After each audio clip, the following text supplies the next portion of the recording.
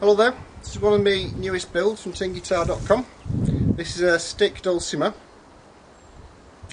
It's all made from indigenous English woods. The neck, if you get a good look at the neck there, is a piece of English walnut and if I can get the light to catch it just right you'll see that it's got some lovely curly grain in the back of the neck.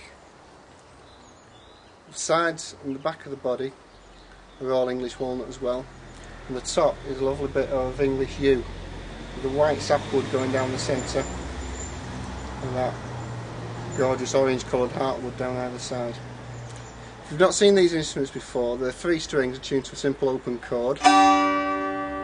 And the way the frets are arranged on the fretboard you see there's, there, there are gaps in the fret, fretting.